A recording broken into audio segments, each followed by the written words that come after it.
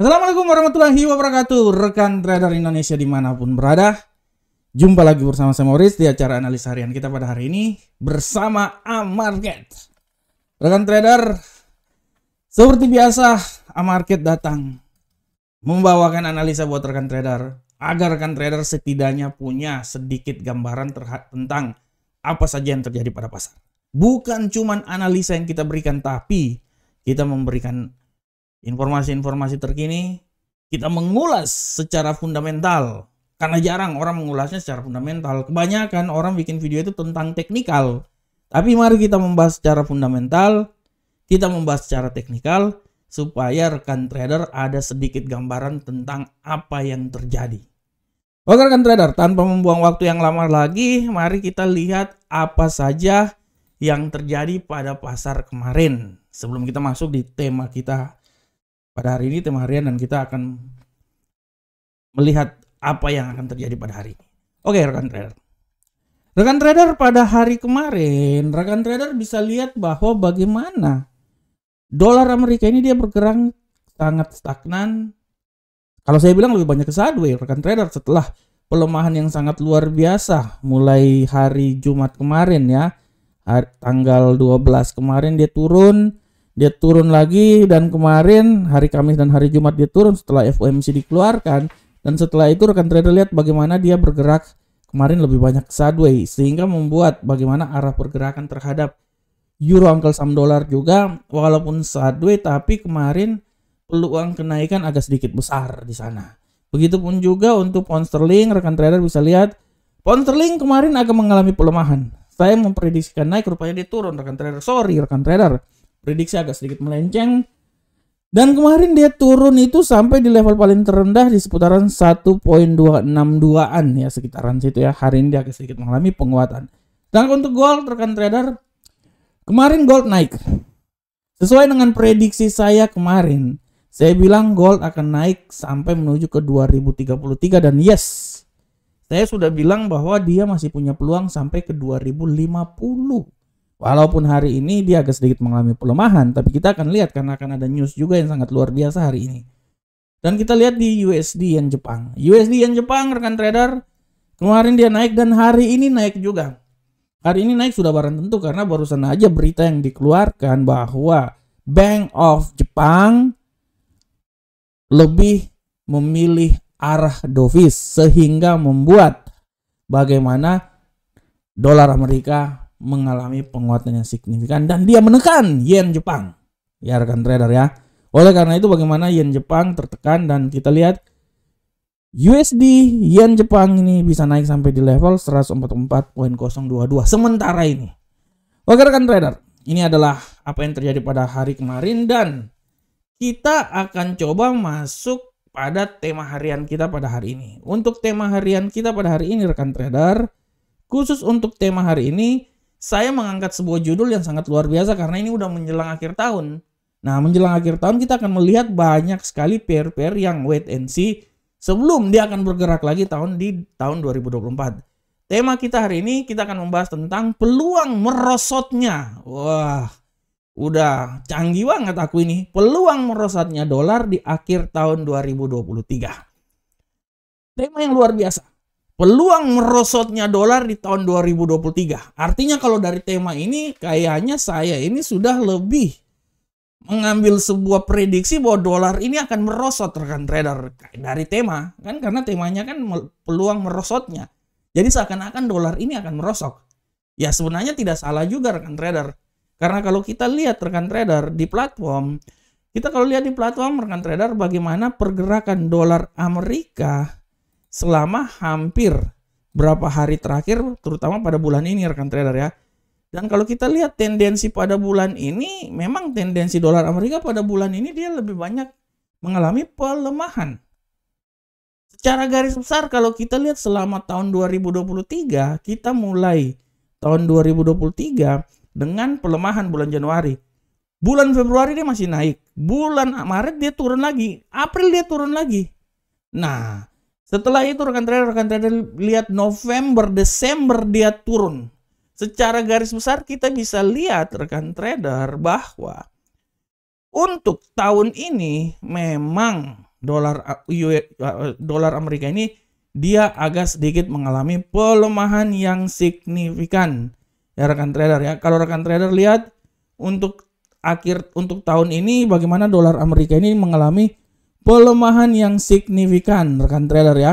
Nah, ini bisa dilihat oleh kita semuanya ya. Kita bisa lihat di sini bagaimana dolar mengalami pelemahan ya. Dan dari sini menjadi alasan bahwa di penghujung tahun ini saya masih bisa bilang bahwa kemungkinan pelemahan dolar itu masih sangat kuat. Kenapa saya bilang masih sangat kuat? Karena mari kita lihat dari faktor fundamental. Faktor fundamental setelah FOMC dikeluarkan dan Gubernur Sentral Bank Amerika Jerome Powell mengatakan bahwa kemungkinan besar dia akan lebih banyak ke dovish. Kenaikan tingkat suku bunga akan di hold. Ini yang menjadi alasan kenapa penghujung tahun 2023 ini saya bisa bilang bahwa kemungkinan dolar Amerika masih bisa mengalami pelemahan. Memang dia tidak akan keluar menuju ke 99, tapi 101 masih bisa. Dia tidak akan naik sampai 105, tapi 103 masih bisa. Ya, dan kalau kita lihat di sini pun juga di platform juga menurut analisa saya 102 itu adalah nilai yang paling aman untuk dolar sampai menuju tahun 2024 ya, awal 2024. Tapi kembali lagi kita bilang bahwa dengan tendensi pelemahan yang terjadi pada bulan ini, saya bisa bilang bahwa dolar ini mempunyai tendensi bahwa dia akan melemah sampai di level 101. Dan kalau dia akan naik, dia akan naik sampai di level 103. Dari sini saya bisa bilang bahwa emas masih punya ya. Dari sini sekali lagi saya bisa bilang bahwa emas masih punya peluang untuk mengalami pelemahan sampai akhir tahun 2023. Memang hari ini akan ada berita-berita, tapi mulai minggu depan sudah mulai musim liburan, masuk Natal dan sudah berada di penghujung tahun 2023. Dari sini saya bisa bilang bahwa peluang emas lebih banyak stagnan, sideways, dia wait and see dan kemungkinan emas tahun 2024 masih juga akan mengalami pelemahan apabila kenaikan tingkat suku bunga masih tetap dipertahankan dan memang The Fed menyatakan bahwa tingkat suku bunga akan diturunkan sampai 75% di tahun 2024. Artinya, kemungkinan besar dolar Amerika akan mengalami pelemahan dan dia sangat berimplikasi dengan pasangan mata uang lainnya. Oke rekan trader, demikianlah analisa kita pada hari ini, tema kita pada hari ini, dan kita akan coba langsung masuk aja ke analisa teknikal. Seperti biasa analisa teknikal kita, kita akan masuk dari indeks dolar Amerika. Bagaimanakah pola pergerakan dari indeks dolar Amerika hari ini? Untuk indeks dolar Amerika hari ini rekan trader, kita bisa lihat dengan jelas di sini bahwa indeks dolar Amerika hari ini dia lebih banyak stagnan dan kalau kita lihat rekan trader tendensi hari ini memang di pasar Asia dia agak sedikit bullish rekan trader. Eh, iya tadi sempat bullish beberapa akhirnya dia udah jadi bearish ya. Kalau saya lihat rekan trader peluang pelemahan masih tetap ada di pasangan ini. Saya bisa bilang bahwa indeks dolar Amerika ini akan bisa turun sampai level paling terendah kalau menurut saya rekan trader di seputaran 101.097. Dia masih sama seperti kemarin rekan trader. Dan dia akan coba naik sampai level paling tertinggi di seputaran 102.053. Nah, oleh karena itu sekali lagi saya bilang bahwa indeks dolar Amerika hari ini dia akan tetap bergerak sangat stagnan dan saya berestimasi bahwa dia akan coba dari 101.927 sampai 102.253. Selanjutnya rekan trader, bagaimanakah euro uncle saham dolar? kita akan lihat bersama-sama euro angkel saham dolar. Ya. Oke. Untuk euro angkel saham dolar rekan trader kita bisa lihat dengan jelas bahwa euro angkel saham dolar mempunyai tendensi penguatan yang signifikan pada hari ini. Walaupun dia tidak terlalu kuat tapi penguatan yang signifikan dia bisa saja sampai di level strat strat uh, 1.09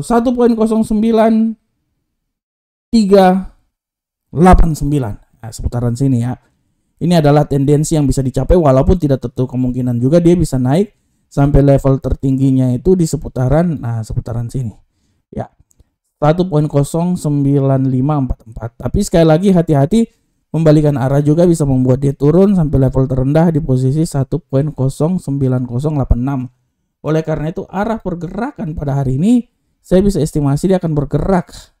Ya rekan trader antara 1.09086 sampai 1.09389 tapi tidak tertutup kemungkinan dia bisa naik juga sampai level paling tertinggi di seputaran 1.09544 Selanjutnya pound sterling rekan trader kita akan lihat pound sterling bagaimana pergerakan pound sterling. Untuk pound sterling rekan trader kita bisa lihat dengan jelas di sini bahwa pound sterling pada hari ini memiliki tendensi bullish ya dia masih masih bisa bullish terus sampai nanti masuk di pasar Amerika ya. Dan saya bisa berestimasi bahwa kemungkinan besar dia akan naik sampai level paling tertinggi itu di seputaran 1.26946. Dan setelah itu dia akan mencoba membalik arah dengan nilai paling terendah di seputaran 1.26305. Oleh karena itu arah pergerakan pada pound sterling analisa saya dia akan bergerak antara nah sini ya. Oke. Dia akan bergerak antara 1.26305 sampai 1.26946. Bagaimanakah gold rekan trader? Kita akan lihat gold. Untuk gold rekan trader, Pola pergerakan gold kali ini menurut saya dia benar-benar wait and see walaupun kalau kita lihat tendensi harian kita pada hari ini lagi bearish tapi saya jujur saya bilang dia kemungkinan besar dia akan bullish rekan trader. Saya masih bisa estimasi dia akan naik sampai ke 2033 kembali lagi seperti yang akan terjadi pada hari kemarin. Malahan tidak terlalu kemungkinan juga rekan trader dia naik sampai level yang lebih tinggi lagi di seputaran 2035. Tapi hati-hati juga rekan trader pembalikan arah bisa membuat dia kembali ke level 2019. Oleh karena itu emas analisa saya dari 2019 sampai 2035.26. Nah, sedangkan untuk USD yang Jepang rekan trader kita bisa lihat USD yang Jepang pola pergerakan dari USD yang Jepang hari ini kita udah lihat barusan aja USD yang Jepang ini dia mengalami penguatan akibat uh, berita fundamental yang dikeluarkan di mana Bank of Jepang lebih mengarah ke Dobis sehingga membuat bagaimana tekanan yang terjadi terhadap yen dan membuat dolar Amerika ini naik. Dari sini kita bisa lihat bahwa menurut analisa saya, saya sudah mau tidak mau bilang lagi dia sampai level paling tertinggi di mana, tapi kalau menurut saya level tertinggi di sini terlalu tinggi. Mungkin yang paling tinggi nanti di 144.076 dan hati-hati pembalikan arah bisa membuat dia balik lagi ke daerah yang paling rendah di 142.536. Oleh karena itu arah hari ini menurut analisa saya dia akan mencoba bergerak dari 142.536 sampai 144.796. Oke rekan trader semuanya, rekan trader sebelumnya sebelum saya mengakhiri acara ini, saya juga mau bilang rekan trader bahwa jangan lupa hari ini ada kalender ekonomi yang sangat luar biasa. Rekan trader bisa lihat hari ini hari Selasa akan ada izin bangunan sama nanti pada pukul 17.00 ada data inflasi dari Eropa. Harap diperhatikan karena sangat memberikan tekanan terhadap arah pergerakan dolar Amerika. Oke rekan trader, rekan trader semuanya demikianlah analisa harian kita pada hari ini. Jangan lupa untuk subscribe channel YouTube kami, follow channel Telegram kami, follow juga channel TikTok kami, Semuanya ada di deskripsi video ini. Dan kami selalu berharap rekan trader bertrading bersama kami karena kami akan memberikan yang terbaik untuk rekan trader semuanya. Akhir kata, Assalamualaikum warahmatullahi wabarakatuh. Sampai ketemu kita di analisa-analisa berikutnya. Salam profit. Indonesia.